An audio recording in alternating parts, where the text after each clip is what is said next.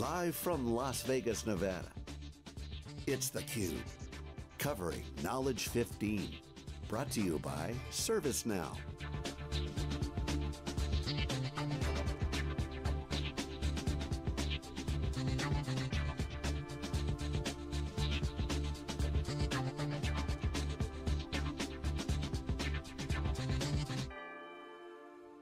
Welcome back everyone. We are live. This is theCUBE, our flagship program. We go out to the events and extract the signal from the noise.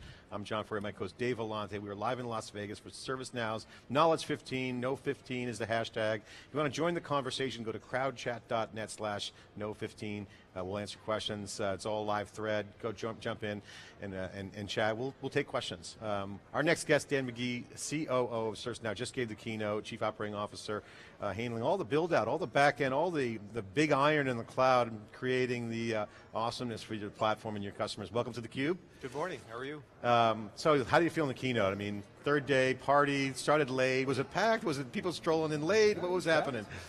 I was, it was great. You know, it's uh, it's been a busy week. There's still a few days to go, but uh, I was actually pleased to see how many people were uh, at the keynote this year. It was wonderful. One of the things we were commenting on our intro this morning is looking back at the two days uh, broadcasting live here and looking at the history of our immersion in with you guys, covering you guys. We talked to everybody, and the theme that's coming out is enterprise grade. Um, ServiceNow success, obviously you guys are very successful, and cloud native, I call it the DevOps mindset. You're seeing the confluence of DevOps in the enterprise uh, where cloud is the key, born in the cloud, so people say, for the startups. But now that the cloud is mainstream in the enterprise, it has to be a little bit different, but all the benefits of DevOps without all the hassles of building DevOps. So I want to get your take on that trend, and as you're operating the company, what, what do you believe in that premise? What do you see? What are some of the things uh, in ServiceNow that's unique that you could share with the audience around the cloud piece? Yeah, so I think in fact, uh, this is just in case you ask me a question that uh, doesn't go so well. Just going to be well armed. Wait, where's my water? Yeah. my you water? don't get any. Hold on, let me tweak that. I had a phone call to make. Hold on. Uh, so that question was okay, you're safe. oh boy. Well, let's get So, ready. yeah, to, the let's get ready to the jokes. Okay, so the, the- the- yeah, the- the whole point is that uh, you know people want to put more stuff into the cloud. The the enterprise wants to take advantage of the public cloud, but they have these questions and these concerns about the reliability, the security, the safety, transparency of the cloud. And what we're really trying to do is is you know meet that need and communicate to folks that we get it, right? We really hear what customers are asking for. They are raising the bar for the kind of infrastructure they want to deploy on, and, and that's what we're trying to deliver on. Well, you put forth the premise, uh, most public clouds are ill-suited for the broader enterprise you know, adoption, which That's is, right. and, and you're making some pretty bold statements. You, last year you started, to, you showed some, a glimpse of some of the availability numbers. So why the big push now? Is because you're getting so many questions from customers or you just have you know, some muscles to flex? Yeah, well, you know, I think customers are actually going through this natural transition. They're doing the same things that, you know, you and I were concerned about as we started using things like Gmail and Yahoo and stuff like that, where, you know, we were initially kind of concerned and worried about trusting the public cloud with our stuff, and then we got more comfortable with it. And, you know, this is in fact what we do hear from customers today. And I think too many companies have just sort of taken their cloud infrastructure for granted, or they've sort of done what, you know, people 20 years ago did when they established the cloud. And, then, and what we're trying to point out is that's fundamentally the wrong way to go when you're trying to address the enterprise, where people need to have some sort of control over their instances. They don't want to have this thing just be completely opaque and, and invisible to them. So the next generation of the cloud, one of the things that in the opening keynote uh, with Fred's keynote was the um, this notion of look where we've, where we've been, the founding of ServiceNow, what we've delivered to customers, push back on the memo from Sequoia, we punched back to the market and put some great traction. And it was the setup for the next 10 years, right? So you can see that the, the tea leaves like, okay, next 10 years of service now, you're in charge of building that out uh, for the company. What is some of the insights that you can share on how you're investing in this new generation of the cloud, and what does that mean for the customers? I mean, as the customers look at ServiceNow, you got a lot of happy customers. They're all here. The party last night was really, really a testament of, of how cool ServiceNow is and relevant you guys are. Next 10 years, how do you look at that as an executive leading the charge? A lot of pressure, but this cloud generation, what is unique about this and what would you share to customers on what you're doing? I think of a couple things. I think the first thing I think of is where we started the conversation, which is the enterprise needs to have a rock solid foundation that they're going to trust, that they can actually you- know put their data and their, their trust in this cloud that's actually going to be there for them. But then above that, I think what you're seeing from us is trying to really enable a partner community that can go out and develop applications on this platform. You know, I think ServiceNow is going to continue to invent and innovate our own applications, but as you look forward to the future, more and more of the applications are going to be developed by the community at large. So we have CreatorCon this year as an example of some of the stuff we're doing there. Some of the platform improvements that you saw talked about during Fred's keynote are a big piece of that. But those are really the, the things that are top of mind for me is how can we enable creative people to develop great stuff and do it on an infrastructure that they don't have to be concerned about or worried about. So a couple other questions we got during your keynote. So you showed that sort of taxonomy of the consumer cloud, the departmental cloud, and the, and the enterprise cloud, and you had um, you know, ServiceNow, and you compared it with a number of other big clouds, in particular AWS and Azure you had up the top, which is kind of an interesting comparison. Somebody said, well, that's kind of interesting com comparing a one single app with some infrastructure as a service. So why did you choose that? Is it because they're such prominent clouds? Or maybe you could talk about that a little bit and clarify. Yeah, well, I think you know it's, it starts with mindset, and I think when those folks envision their services, they envisioned a service that would be delivered to the entire enterprise. Right? They didn't start with sort of a, just a departmental focus. They didn't start with just a consumer focus. They built something that was intended to actually be delivered to the entire enterprise. Now they live at a different area of the stack, as we talked about. You know, Amazon is provisioning. You know uh, bare metal and you need to go in and provision your own OS and things like that. Azure a little bit higher up the, the value chain. But fundamentally, we're, we're equivalent in our mindset and our focus. Uh, I think it's easier to develop an application on ServiceNow and get it to market a lot, a lot more quickly. But the point I was really making with that slide is what's the mindset? What are they really trying to solve for for the enterprise? And then you, obviously at this event you're making a lot of the multi-tenant versus multi-instance. You laid out sort of why multi-tenant is less uh, suited for the enterprise. Things like failover. You mentioned that you can't do a failover with multi-tenant. I'm not even sure you can. You can't even test failover. You don't failover is really what your point was, and you guys do that. Yeah. Um, what's the trade-off to multi-instance, Dan? And maybe you could help us understand that. This, my experience is always sort of you know a way to skin a cat. But what's sure. the trade-off that you guys face? Well, first off, just to just to clarify, on multi-tenant, you definitely can do failover. Mm. It's just such a risky event that people choose not to do it, and so you're always afraid to sort of sort of push that. And presumably, same thing with testing. You can't really exactly. test it because you can that, fail over and exactly fail back. Right. It's too that's risky. exactly right. Yeah. So you know, I, I, was speaking with some folks that are in that lower tier uh, that are at the show. You know, so, you know the the consumer focused folks, and again, those folks are trying to get every sort of last ounce of performance per dollar out of their infrastructure. And so in those cases, they are, they are still using some very heavy iron sort of solutions that are fundamentally multi-tenant because in the consumer world, you don't need to treat customers individually. And I think that works well for those folks that are potentially in the consumer space or delivering components of their, con their consumer solution.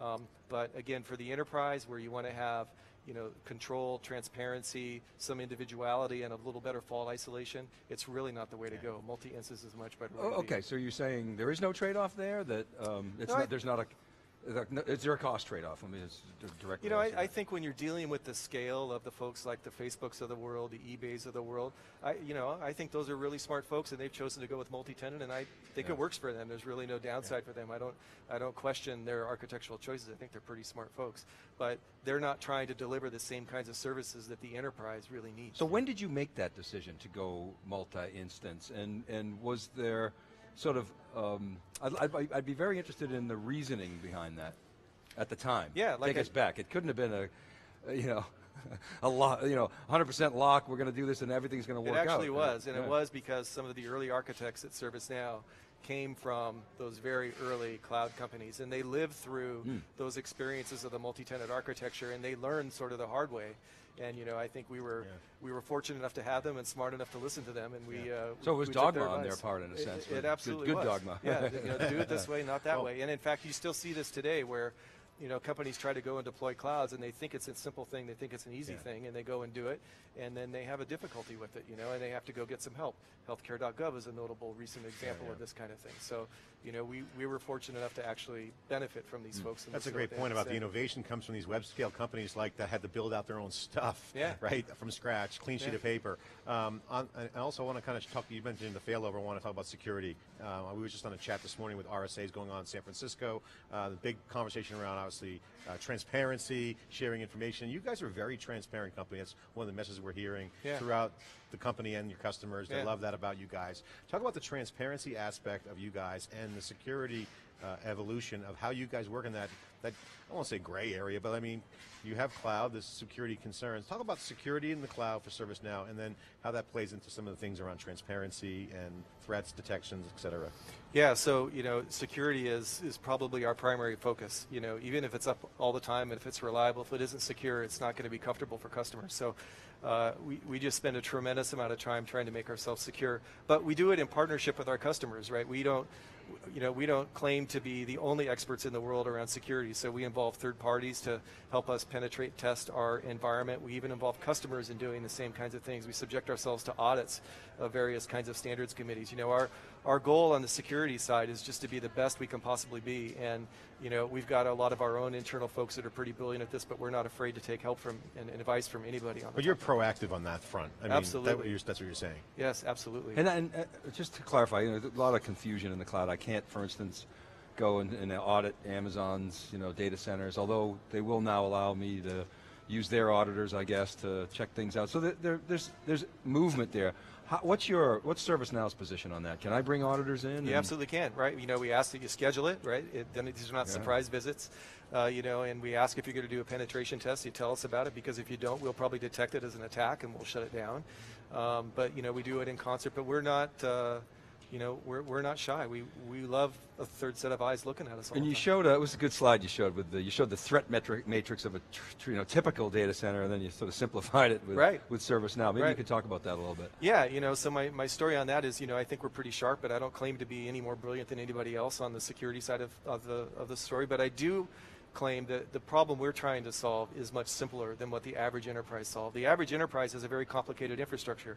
They're dealing with email, they're dealing with SAP or financial information, HR information, applications specific to their line of business. They have a very complicated environment. Lots of lots of back doors, lots of front doors, on ramps, off ramps.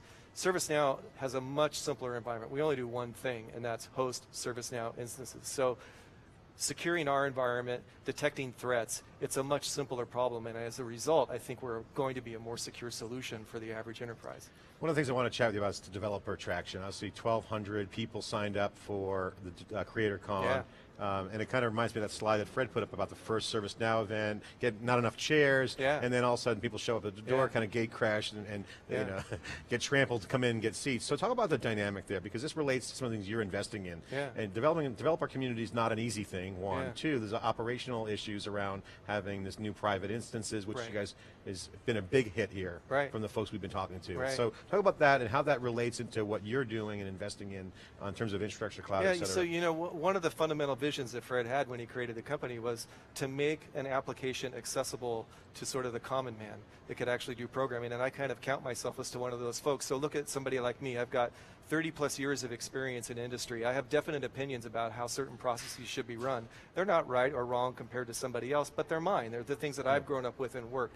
In the past, if I was going to deploy a particular application, I'd have to go hire a pile of consultants. They'd come in with a trailer, write a long standard, you know, a, a statement of work, a big description of what we were going to do, and then I still wouldn't get what I would want, right? I get, you know, this this uh, you know combination of almost what I wanted but not what I wanted wouldn't work. Then I, I'd have a support nightmare. I'd have this thing that now I need to have these consultants around forever to Yeah. continue to support this thing. ServiceNow enables guys like me that are maybe really good with things like Excel macros or JavaScript and these kinds of things. I can actually go in and make my vision happen in a much simpler way. Time to value. Taking that solution that I've had in my head for 30 years and actually delivering it to my company is something you can do with ServiceNow. And that's the energy of CreatorCon. And that's why I believe so many developers are so excited about ServiceNow. It's easy to get something up and running. So what you're saying quickly. is the foundational services, your consultant example means you have to essentially build the factory of data and infrastructure to make a decision, that platform, that foundation, over and over again. Here you're saying, okay, foundation set, you put your IP and ideas on top of it. That's right. And then you build on it and leverage, kind That's of like right. an open source ethos, build on the That's right. shoulders The, of know, others. The platform comes with you know lists already built in, forms already built in, workflow already built in. All that mm. machinery is stuff that in another environment you'd have to write yourself. That all exists, and you just need to sort of connect it together and make it look like you want. And yes, you know, we and a lot of our Yeah. partners out there provide really applications as a great way to start. Well, you're 30 years in the industry. I want to get your perspective on things. We've been having a debate in Silicon Valley. We'll keep on around the startup community. Valuations are high. You're seeing a lot of startups getting here comes billion water. dollar valuations. Here comes the water.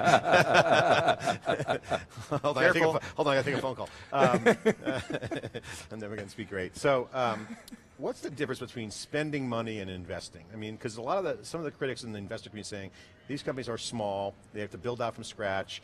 They're just spending money. They're not investing. It's a little bit of a nuance, but like, how do you how do you, how would you explain that to an investor? The difference between identifying a company that's spending money and someone that's spending money to invest. Um, because some are saying this, it's a little hard to go from zero to a trajectory of infrastructure overnight. You guys are in the middle of that and you're investing. Yeah, you know, I, I don't know much about what other investors are saying and stuff like that. I, I just know what it's like, you know, living and working at ServiceNow, and you know, I, I can tell you we're, you know, we are investing to keep ahead of our customer demand, right? If you look at the infrastructure that we're building, you look at the data centers that we're placing in in regions where nobody else has data centers, right? We're doing that because customers are there, customers want us to be there, and we're going to get more and more customers over time. So we're investing to sort of sustain the growth of the company because we think we have just gotten started here, and uh, you know, we now's not the time to sort of you know cut back and try to turn in, turn profitability ridiculously high just for, for no reason. We we are building the best infrastructure and the best product for our customers today. So, so follow up on architecture. We were talking earlier about the, the consumer guys, everybody calls them the hyperscalers, and they've made choices. Um, we have seen your TAM continue to grow, right, as the sort of you've envisioned new, new markets, new spaces. Do you feel like you've got the architecture that can support that kind of TAM as you grow, and what gives you confidence in that? Yeah, I think we do. You know, as I say in my keynote, you know, I don't know that we're going to be, you know, chasing video game space because I don't think our architecture is for that. I don't know that we're going to be chasing, you know, uh, storing very large data files like, you know, uh, a, a YouTube service or something like that. Those are not the spaces we're, we're going to be at. But when you're talking about managing work across the enterprise and helping sort of all of the internal departments across the company to get more effective, more repeatable, we absolutely have the architecture that will scale to that. It's a, it's a time to value thing you mentioned, and also agile mindset, having cus- solving customer problems fast. Yeah. So, but, but I'm inferring you didn't make a trade-off between um, availability and scale. Is that right? No, absolutely not. Yeah, not at all. And, and so it brings me to my availability. John's going to glass, his eyes are going to glass over now. But I loved that chart that you showed last year. You showed even more data this year.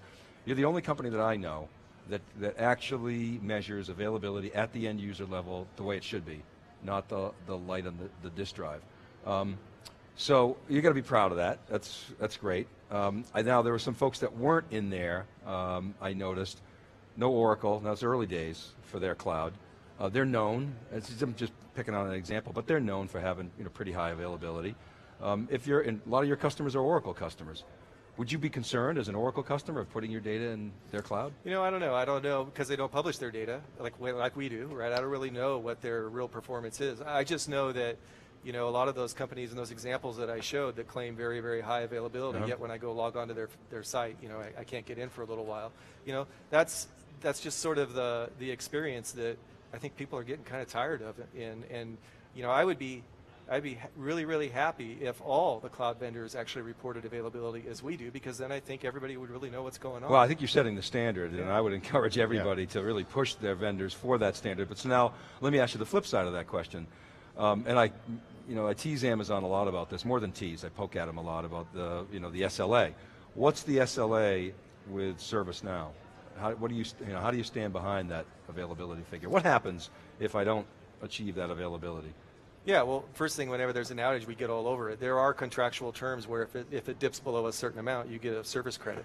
Um, you know, so everybody asks for that. That's pretty standard in the industry, and we have a number in our contracts too. But the reality is, our performance is so much above that. You know, it, it's rare that it, that happens. It does happen from time to time, um, but you know, we're uh, we're all about just making it better and better and better. And, and those, da- that data that you showed this morning is essentially the SLA that I can expect as a customer. yeah, It, with using that methodology that you that's absolutely right. Yeah. So talk about the um, the growth plan for you guys. You're in charge of building out the infrastructure footprint, et cetera. We see a lot of successful um, clouds like Amazon, for instance, really the global equ equation's huge, right? So what's the global plan for you guys? And obviously there's data issues around countries, yeah, Ireland, Germany, and then you got Asia Pacific. What's the plan for ServiceNow in terms of that global perspective? Obviously, cryptography is a big part of it. How do you look at that investment plan? What's the what's the mindset for you guys? Because you guys have a plan now. You got a lot of customers are going global. What's the plan there? Yeah, so again, it all starts with we want to make customers comfortable with putting their data in our cloud. So what is that driving? Well, that's driving what they're asking for. That drives the 16 data centers in the eight regions around the world, right? We're putting data where they want to be. And that's in drive that's also driving some of these encryption features that customers are have asked us for. So many customers have sensitive data. Not all their data is sensitive, but sometimes there might be a social security number or something else that might be stored in our database. They want to be able to encrypt that. And some of those customers want to know that we have no ability to unencrypt that. And so that's what the edge encryption feature that we announced this week is all about. So we're going to continue to in, you know, come up with features, place data centers yeah. in places where it makes sense, all with the idea that we want to remove the worry about putting your enterprise data in our public cloud. And share some perspective. What's it like to work at ServiceNow? Uh, take us through day in the life of what's going on in the company. What your days like?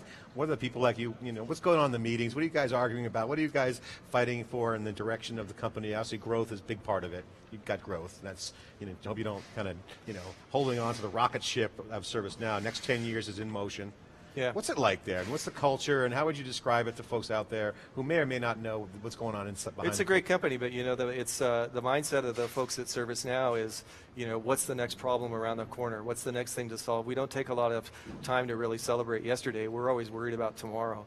And so that's what sort of drives this incessant, you know, concern and worry, and maybe even a little yeah. bit of paranoia, right? We, we wake up every day figuring out a way to make life better for our investors, better for our customers, and more reliable. I was going to ask Frank this and, and, Fred, but I forgot to. But I was going to ask you. Every company's got that unique uh, cultural DNA feature. Moore's laws, Intel. What's right. that ServiceNow? It's tra it, it's transparency, right? You know, we. Uh, we, we tell it like it is. We, we tell our customers how things are going. If we screwed up, we say we screwed up. If they screwed up, we help them figure out what went wrong. Um, and we're that way with our employees as well. So it, it, it's transparency and honesty about what's really going on. That's the only way for us to get better.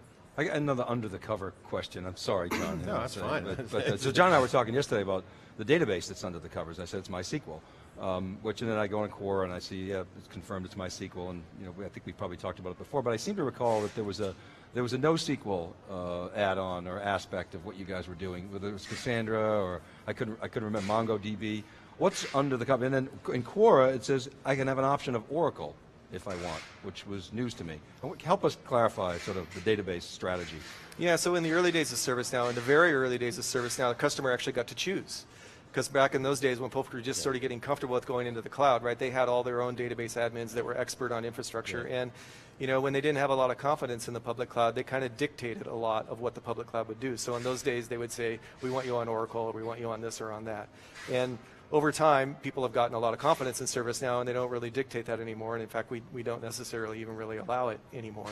But we still do have a, a handful of uh, sort of Oracle customers that started off with us in the early days. And we're quite good at supporting Oracle and we're going to continue to support those so customers. grandfathered those customers. Absolutely. But, okay. um, but going forward, we're definitely uh, building on MySQL. But you know, fundamentally, the actual database that we sit on isn't really the thing that makes the difference in the service. We could probably make any one of these things work. Yeah. We just sort of landed on MySQL, and we want to continue to grow with that. And, and, and, and, and uh, is there a NoSQL um, uh, we, component? We, we, we, do have sort of uh, some interesting options that will roll, roll into a particular customer's instance if it will benefit them. Um, we have things like read replicas and other kinds of technology that we've invented. But again, we do all this behind the scenes. That's how we achieve some of the performance numbers yeah. I showed you earlier. So customers just don't have to worry about it. If their transaction rates are getting pretty hot or they're, they're doing things that might benefit yeah. a slight tune to their infrastructure, we're going to do that behind the scenes and they don't even need to know. But you must get this question from customers. and The IT guys, they want to know, right? Sometimes. Yeah. You know, I think that the, the conversation used to be a lot more about that. Yeah, sure. And honestly, now the conversation is shifting a bit more to the security security yeah, side and some of those questions you're asking. Right. Dan, my final question, is getting close on time here, is uh, you guys have been very successful. I talked with Fred and Frank about it, is that you're disrupting and innovating at the same time, which is you know, very rare. And you, so a lot of people want to know the secrets of success. Um, and we hear from your customers all through the cube this week is that it's a bold step. It's like, will the parachute open? Because they're forging new ground, the new use cases, new capabilities are showing innovation opportunities and workflow, new use cases, new workflows that could be automated, all the greatness that you guys are providing. So you've been very successful